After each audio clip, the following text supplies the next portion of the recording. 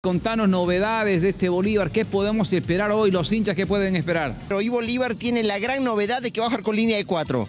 Anoche lo discutía mucho el profe Aragonés, pero esta es información. Bolívar va a poner línea de cuatro. Nos queda una pequeña duda, ¿quién va a ser el lateral por izquierda? Ante la ausencia de José Sagredo, estará Jairo Quinteros, estará Jesús Sagredo.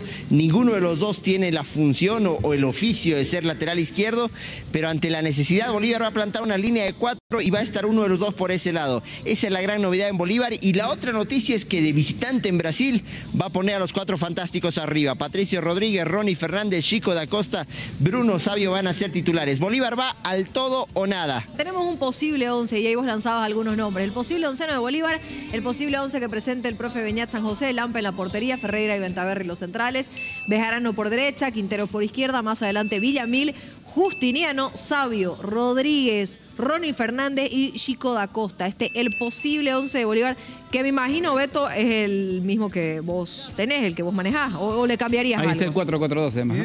La duda que empezó a surgir porque viajó con la idea de tener a Jairo Quinteros en la banda izquierda, pero según nos contaron ayer y también información que maneja nuestro compañero Alex Cabo, eh, por izquierda podría estar Jesús Sagredo. Ahí puede haber alguna duda, pero el resto, los 10, son los 10 jugadores que van a salir y la duda es saber eso, cómo resuelve, porque si había un jugador que no podía lesionarse en Bolívar era José Sagredo, porque es el único que no tiene reemplazo y se lesionó lamentablemente José Sagredo, va a estar de baja por algunas semanas y bueno, habrá que ver cómo resuelve eso con Quinteros o con eh, Jesús Sagredo. Y ahí puede una modificación general, esto que, que estás hablando, Beto, con la ausencia de Sagredo. Es decir, ¿qué le cambia al equipo de Beñat? Bueno, la- le cambia un montón, le cambia la idea de tener la línea de tres fija. Seguramente igual constantemente Diego Bejarano tres, va a ser una línea de tres Ajá.